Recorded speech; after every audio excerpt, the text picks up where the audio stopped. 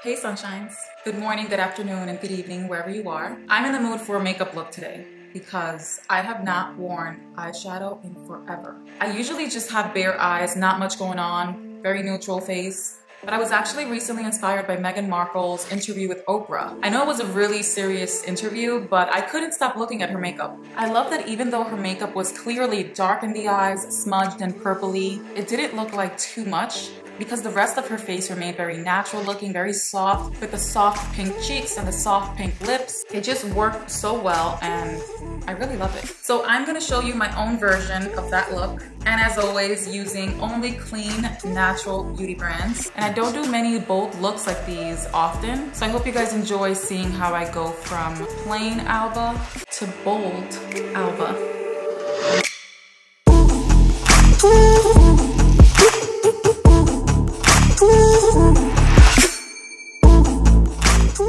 Begin, I'm just gonna get my bangs out of the way, clip them up. And the first thing I wanna do is prime my entire face, including my eyelids, with this primer by LYS. It's called Secure Skin Gripping Serum Primer. For a look like this, I would never skip primer. Primer is essential. It makes my skin look smoother, pores appear smaller, and I feel like my makeup just sits on my skin much better and lasts longer. And before foundation, I just wanna take a moment to thank EcoTools. They have made this new Bio Blender sponge, and it's actually the world's first ever biodegradable makeup sponge is crazy, right? You would think that it's something that would already be here. It's so cool that it's made with only five earth-friendly ingredients and even the packaging is earth-friendly, biodegradable. This is a brand new one that I just wanted to show you on video, but I have one that's already been used and I've had it for weeks now. I've used it many times already and I've washed it several times as well. Works the exact same way as any other sponge. And I would say that if there's any change, it just feels even softer. And as you may already know, I've been using EcoTools since I was in high school, before I even knew how to apply my makeup. They're very accessible, they're very affordable, and they're just good for everyone in my opinion, whether you are in a professional makeup field or just a regular person in the world wanting good brushes to use with your makeup. Mine is already damp and ready to go. So here's a new thing I'm doing. Instead of applying foundation on my entire face, I'm gonna start off with my concealer. The concealer I'm using today is by Beautycounter, and this is the Skin Twin Creamy Concealer in the color Dark 1. And I'm just gonna spot treat certain flaws on my face, like these two pimples that I just got because it's that time of the month. So I'm gonna take my concealer and apply it in those areas. And I just start off in those little areas that are most necessary, like the pimples that I told you about, the little scarring that I may have. And I'm blending it in with my EcoTools Bio Blender sponge, just tapping it in, not rubbing. And this will actually allow me to use less foundation, giving my face a more natural skin-like appearance. And that concealer was a perfect match for me, so it evens out my skin so well. So I only have to apply a very small amount of my foundation. The foundation I'm using today is by LYS. This is a Triple Fix Serum Foundation in the color TN6. I'm gonna start off with this tiny amount to start and we'll see how it goes. And a tip I got to apply less foundation and focus in the areas where you need it is to start off in the center of your face and then work your way out so that the least amount of foundation is on the edges of your skin so you shouldn't see heavy foundation on your hairline, which is where foundation is most noticeable. So I'm gonna start off in the middle of my face and then work my way out as I'm blending it by tapping it all in. Whatever is left over on my sponge from that foundation that I just applied, I'm putting on my forehead just to blend things in, but I'm not adding any more products. Not necessary for me to add much on my forehead. And I'm gonna stop right here. I don't think any more foundation is necessary. For my eyes, I'm gonna be using two palettes today by the same brand. This is Aether Beauty. I'm using one color from the Summer Solstice palette and another color from the Amethyst Crystal Gemstone palette. To apply my eyeshadows, I'm using another cool item by EcoTools. This is a new brush system. Basically, it's one brush handle that comes with different tops, so you can interchange the tops and exchange it for whatever top you want.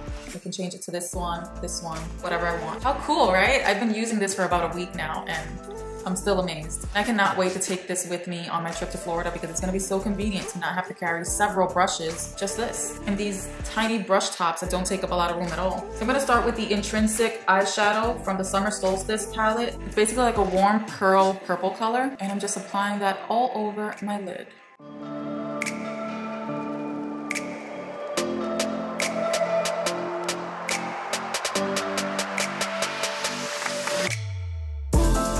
Now by simply changing that top to a blending top. I'm gonna use this brown color called Crown Chakra in the Amethyst palette to blend all in the crease.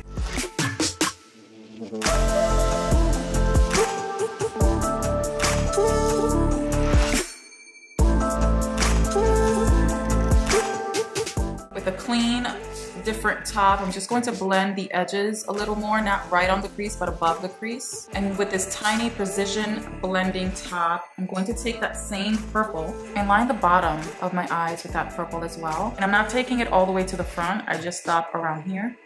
Before I continue with the eyes, my eyebrows are bothering me so much right now, so I'm gonna fill it in with the Zuii Organic Eyebrow Definer. This is in the color Taupe, which is a very soft color that's not gonna look too drastic on my brows. It's just gonna fill in some of those gaps. As you can see, that color is very soft and not heavy looking. Now I just brush it out.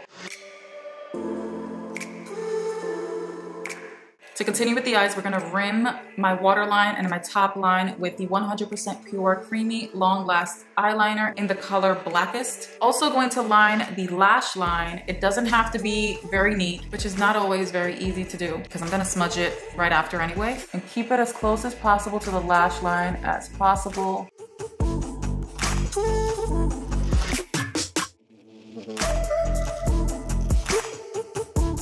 Again, removing the top I love doing that. so cool. Putting on the smudger and we're gonna smudge that out. But don't over smudge. Make sure that you're just smudging the right amount. If you over smudge, it'll clear out the line too much. We just want to soften up that line and remove that harsh look to it. And whatever is left of the eyeliner on this brush, I'm going to smudge a little bit on the bottom as well. That looks good, I'm happy with that. I'm just gonna clean the bottom a little bit with a wet tissue just to pick up some of the fallout. I didn't have that much fallout, but just picking up a little bit. This is a clean brush. Switching out the top to this flat angled brow brush. I'm gonna take my Beauty Counter concealer in Tan 3, which is one shade lighter than the one I used on my scarring, to clean up under the brow a little bit. And I'll also use it to clean up under my eyes and pull this all together. And I'm just lightly and slowly blending everything in, lining up the brow so that it looks cleaner.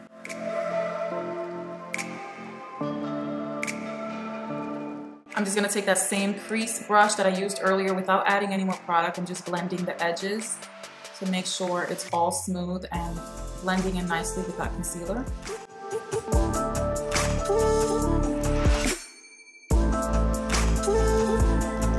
To conceal under my eyes, I'm also using the Beauty Counter Concealer in the color Tan 3.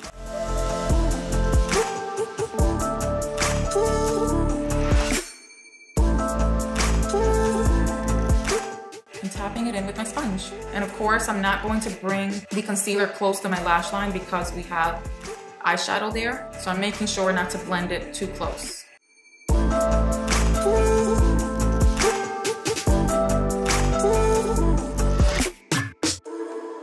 That is looking great. And to set under my eyes and other areas of my face, I'm going to be using the LYS Translucent Setting Powder, starting off directly under the eyes. But I always avoid putting powder all over my entire face because it's not necessary. Want some of that shine to still come through because that's what adds that natural skin-like appearance. Then on the sides of my nose, also on my forehead and my chin and my smile lines right next to my mouth and any other area that's prone to shine.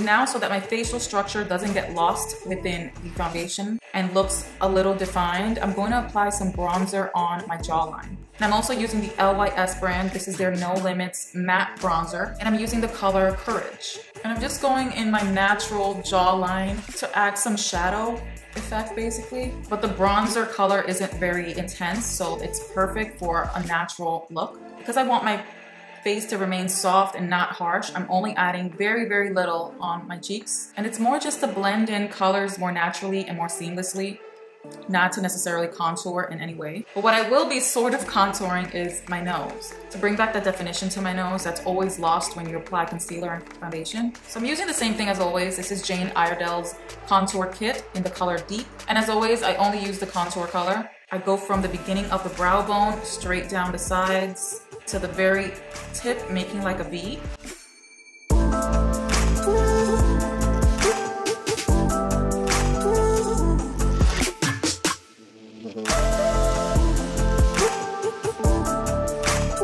As long as you blend, you're all good.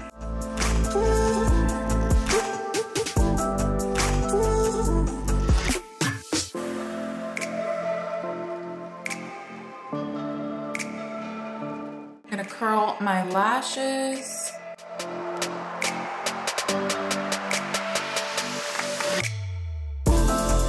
Apply my favorite mascara, which is the Honest Beauty mascara that comes with a primer. I apply the primer first and wait about 20 or 30 seconds before applying the actual mascara. And most of the time when I use this mascara, I don't feel the need to apply lashes. I have these very natural looking wispy lashes by Ardell just to add a little more, but I don't think I'm gonna apply it just to keep this even more natural. But by all means, apply the falsies because it'll only make it look better. I'm just lazy. And when I apply my mascara, I always blink into the wand to press in the mascara. I feel like it lengthens it more when I do that. Press it, blink, and wiggle up.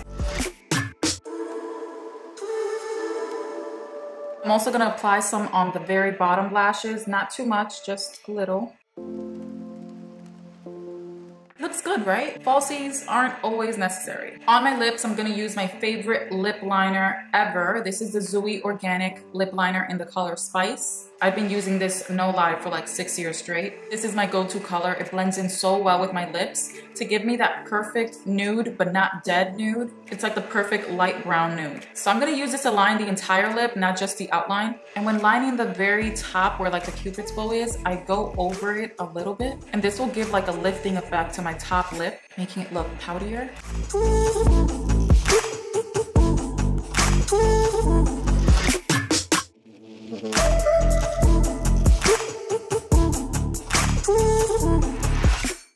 See why this is my favorite. And although I love this lip color already, I could stop here, but we want that soft pink look. So I'm going to add this Henné Organics lip balm right on top. This is in the color Muse and it's more of a berry color, but combined with this, I know it'll be more pinkish into the tone that we want. And it's also a lip balm, so it's moisturizing. So it'll take away some of that dryness that the lip liner gives. See, that's the pink I want. For the soft pink cheeks, I'm gonna be using the Westman Atelier Baby Cheeks Blush Stick. This is in the color Petals, and I have been obsessed with this stuff lately. It's one of those sticks that has a magnetic top. And if you know me, you know I love cream blushes. And I prefer cream blushes because it sinks into the skin so much better, giving the skin a natural dewiness and a more natural looking flush of color like you're actually blushing. So I just pop it on my cheeks. I'm gonna use a small complexion brush and just focus this by tapping it in first.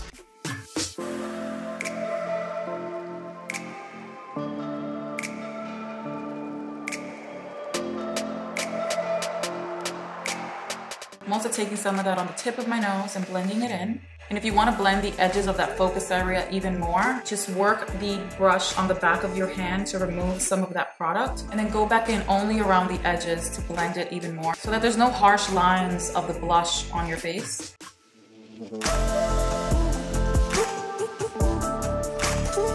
I am loving that. And the last thing I'm gonna do is take some of this Living Luminizer powder from RMS Beauty and pop it right in the tip of my nose to complete the definition and a little bit on the bridge as well. And I'm just gonna use my fingers. Oftentimes I feel like my fingers focus the product right where I want it better than a brush. So don't be afraid of using your fingers. I'm not gonna highlight my cheeks. I think that the blush does a very good job at keeping that glow natural. And with that, the look is complete, guys. I'm satisfied with this. I think it looks great. I love the way my skin looks. I love that it makes the green in my hazel eyes pop even more. I hope you guys enjoyed watching me apply makeup with effort that I haven't put in a very long time. Hope you appreciate it. Hope you enjoyed it. And as always, check the links down below. Everything I featured in this video, everything I mentioned will be listed right down there as always, including where you can find me outside of YouTube. So you can keep up with me on Instagram, which is where you'll find me the most. I love you for watching and I'll see you in the next video. Bye, sunshines.